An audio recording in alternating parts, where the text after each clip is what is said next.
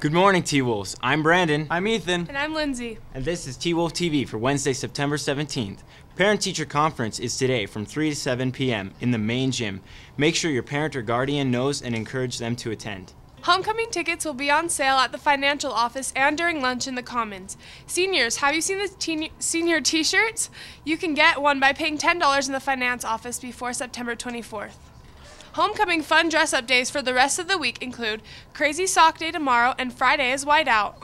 NHS students, please check your name outside Mrs. Eisenhardt's room today, Wednesday, September 17th. If your name is not on the list, please check with Mrs. Eisenhart ASAP. Dues for NHS are due Monday, September 22nd. Please pay your $20 fee to Freddie Johnson in the finance office. Our first meeting will be held Wednesday, September 24th in the Little Theater. Timpanogos High School presents first annual alumni review Monday, September 22nd, 7:30 p.m. in the THS auditorium. Over 20 performers from years past will be sharing their talents once again. Tickets at the door, $5 per person, $25 per family of 6.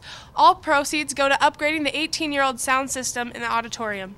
THS has many new teachers this year. Here's a short hello from Mrs. Jensen, one of our new math teachers. Go ahead. Hi, I'm Mrs. Jensen. I teach math here at Timpanogos. I used to teach at Wasatch High School. Um, I love it here. It's a great day to be a T-Wolf. Up next is T-Wolf TV's Pavel Bermudez, who spoke with Mr. Smith, one of our new Spanish teachers.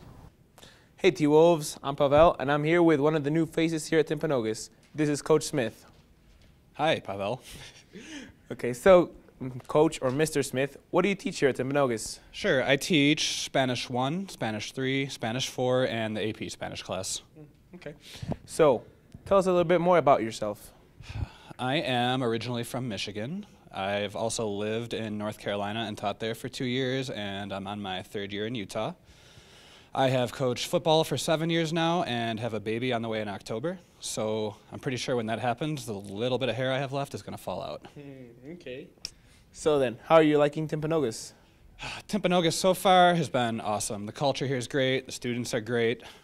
I'm excited to be about a, part of a football program that's going to be great, and we're on our way. Okay. Thank you, Coach. This is Mr. Smith. Now back to you. The Orem Youth Council is a fun activity designed to provide learning and service opportunities to high school students in grades 10 through 12. The OYC generally meets once or twice a month during the school year with its advisors from the Orem City Attorney's Office. Members of the OYC will have opportunity to learn more about city government and issues facing the community.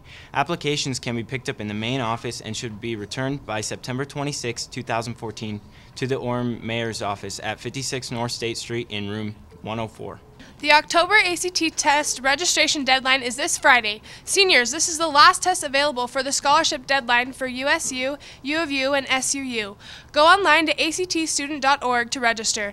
Good luck to the boys golf team this afternoon at Region at Riverbend, and don't forget to come to the Powder Puff game tonight at 7:30 at the football field. For T-Wolf TV, I'm Lindsay. I'm Ethan. And I'm Brandon. Have, Have a, great, great day, T-Wolves.